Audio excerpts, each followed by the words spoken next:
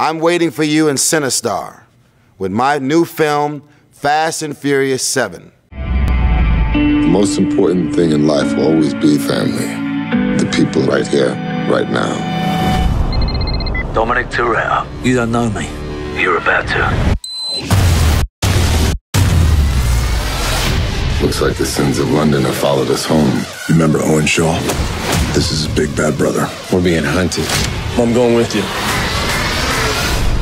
One last ride.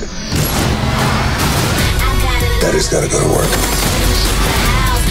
This takes crazy to a whole nother level. What's up now? What's up now?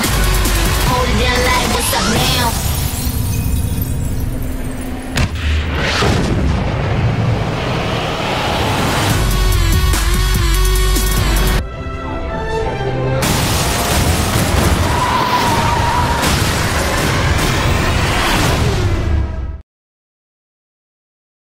Hey guys, the advanced box office for Fast and Furious 7 is now open. Book your tickets today.